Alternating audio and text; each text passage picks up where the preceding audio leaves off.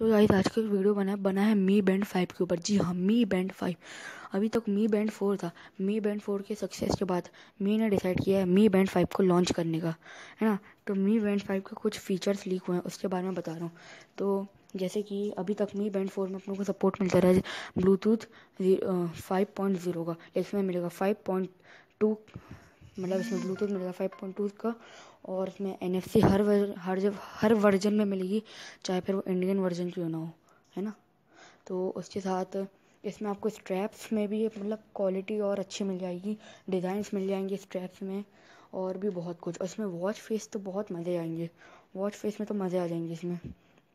और जहाँ तक मेरे को लगता है और हाँ इसकी डेट जो है लॉन्च होने की वो टू थाउज़ेंड ट्वेंटी में वो जनवरी से लेकर जून तक हो सकती है है ना?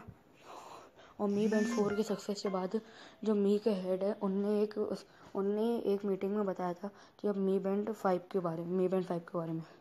और मेरे को जहाँ तक कि लगता है कि शायद से इसका प्राइस होना चाहिए एक्सपेक्टली जहाँ तक मेरे को लगता है एक्सपेक्टली इसका प्राइस होना चाहिए थ्री थाउज़ेंड से फोर थाउज़ेंड शायद से। और देखिए इसकी स्ट्रैप्स भी बहुत अच्छे हैं और वॉच फेस भी बहुत अच्छा है। और स्क्रीन भी और अच्छी, बड़ी मिलेगी। तो अभी तो इतने फीचर्स पता चले हैं। वैसे लीक को इतने फीचर्स में अगर आपको ये वीडियो अच्छा लगा है तो प्लीज़ लाइक करेगा। और अगर मी बैंड के बारे में और आगे की जानकारी चाहिए तो प्लीज़ सब्सक्राइब